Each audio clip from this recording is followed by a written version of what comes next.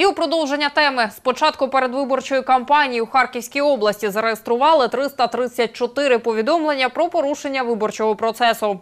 Так, 15 липня до поліції надійшла інформація про те, що на вулиці Леся Сердюка та Наталії Ужвій у Київському районі невідомі порізали агітаційні намети кандидата в народні депутати України.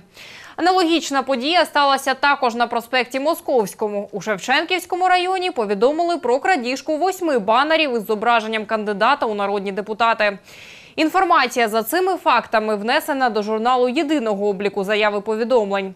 Загалом слідчі відкрили 36 кримінальних проваджень щодо перешкоджання здійсненню виборчого права, порушення порядку фінансування політичної партії та передвиборної агітації, підкуп виборця та хуліганство.